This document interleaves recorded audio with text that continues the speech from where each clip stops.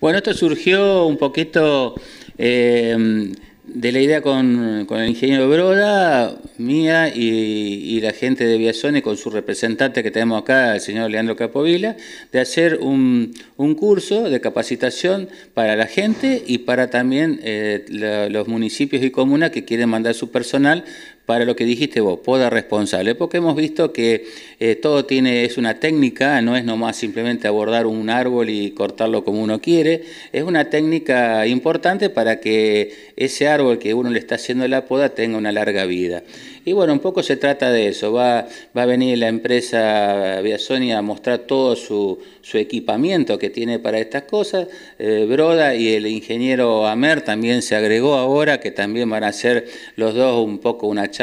uno de frutales, el otro explicando de qué se debe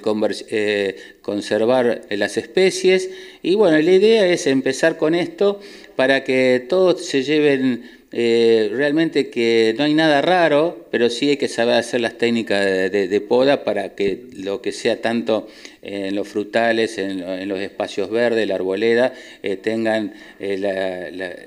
el verdadero sentido de, llevarlo hacia adelante, porque a veces mutilar un árbol significa matarlo, ¿no? ¿Cuándo se va a desarrollar esta charla y a partir de qué hora? El 23 de mayo a las, a las 19.30, a partir de las 19.30, se va a hacer la presentación de todos los equipos y herramientas, se van a hacer las charlas, después va a haber unos, la entrega de certificado a los que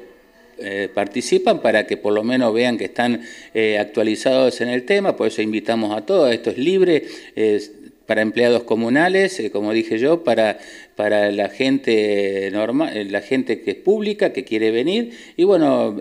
va a haber unos sorteos de herramientas, va a haber sorteos de, de, algunos frutales para que se los lleven, y ya sabiendo un poco la técnica de manejo. ¿Es gratuita la charla? Totalmente gratuita. Eh, por eso digo que el, aporte un poco de todos podemos lograr estos talleres que son, son importantes y que haremos varios durante el año. ¿no?